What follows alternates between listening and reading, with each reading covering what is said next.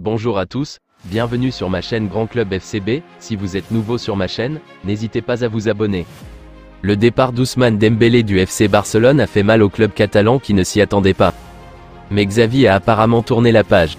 Je me souviens de lui, mais je n'ai pas vu les matchs du PSG. Il n'est pas notre rival. Je ne lui en veux pas et je lui souhaite le meilleur. Le Barça continue, nous avons trouvé des solutions avec Lamine, Rafa.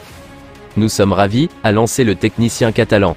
Cet été lors du marché des transferts, Ousmane Dembélé a pris la décision de quitter le FC Barcelone.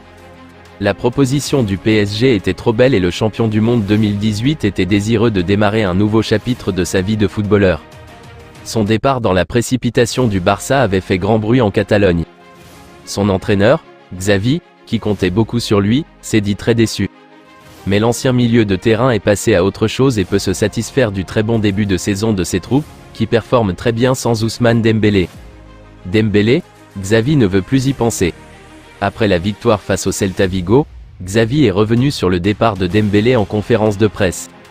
Et la pilule est passée même s'il n'a pas regardé ses matchs depuis son arrivée au PSG, je me souviens de lui, mais je n'ai pas vu les matchs du PSG. Ce n'est pas notre rival. Je n'ai aucun ressentiment contre lui et je lui souhaite le meilleur. Le Barça continue, nous avons trouvé des solutions avec Lamine, Rafa. Nous sommes ravis. Dembélé a donc vite été oublié par Xavi, qui ne veut pas s'attarder sur les joueurs qui ont décidé de quitter le navire.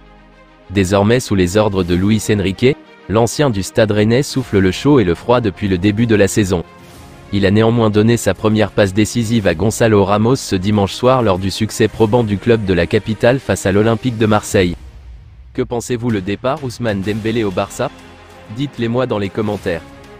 Je vous remercie d'avoir regardé ma vidéo, n'hésitez pas à vous abonner pour plus de contenu similaire.